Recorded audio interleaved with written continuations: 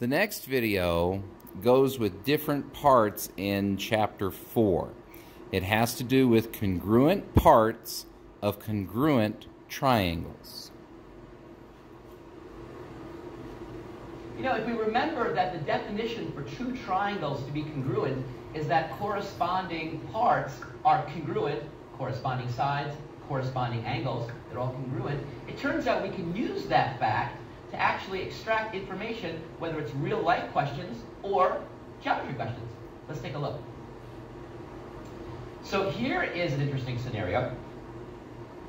Here we have Amanda's house and someone that lives sort of across the way from this fence. And this fence sort of goes on almost forever. So, so there's no way of crossing. And well, here's what Amanda wants to know.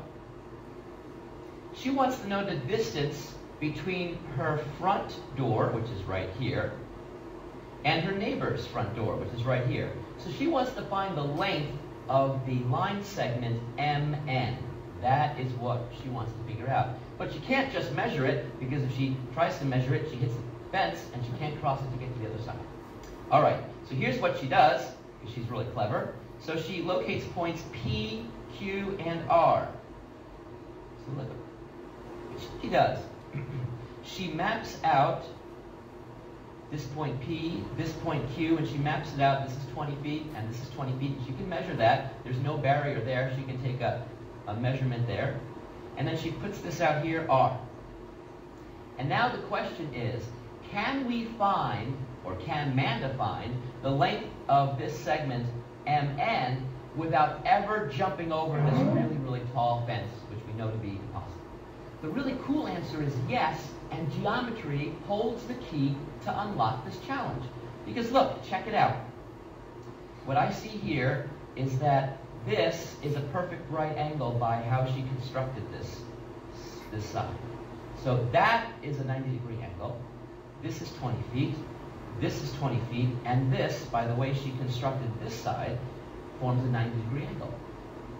So look what we have here. We have that these angles, these corresponding angles are congruent. We know that these corresponding sides are congruent. And what about these angles right here? Well, they are vertical angles, and we know that vertical angles are congruent. So I have two triangles, and what do I notice? I have angle, side, angle, congruent in both. That means the triangles are congruent. That means that corresponding parts are congruent. And what's the part that corresponds to this side? Well, it's this side. So all Amanda has to do now is measure this length, which she can easily do since there's no barriers, and that will allow her to know the exact length of this. Isn't that cool how using abstract geometry allows us to actually do a real-world question? You can actually imagine this happening in your own backyard. Have fun.